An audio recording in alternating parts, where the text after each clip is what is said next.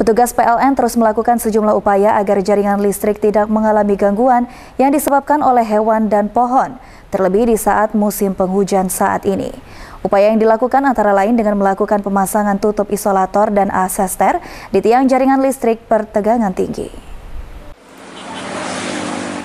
Petugas pekerjaan dalam keadaan bertegangan atau PDKB PLN UP3 Jambi ini melakukan pemasangan tutup isolator di Jalan Lintas Timur Jambi, Desa Mendalo Darat, Kecamatan Jaluko, Kabupaten Moro Jambi.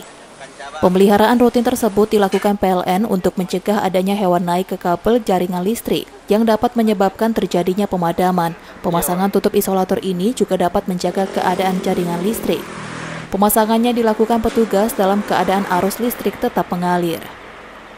Keberadaan hewan yang menempel di kabel listrik kerap menjadi momok kerusakan kabel, sehingga dapat mengganggu jaringan. Misalnya gangguan hewan seperti tupai, monyet, dan burung yang kerap menempel di kabel listrik tegangan tinggi tersebut. Sementara itu, guna mengantisipasi terjadinya gangguan listrik yang disebabkan oleh faktor alam di musim penghujan, pemasangan arrester pada tiang listrik terus digencarkan. Kami melaksanakan pekerjaan pemeliharaan di berjumlah 4 titik di daerah Aurduri, Pemeliharaan rutin dengan pemasangan tutup isolator dan arrester tersebut terus dimaksimalkan pihak PLN agar gangguan jaringan listrik yang disebabkan oleh pohon dan hewan dapat diminimalisir.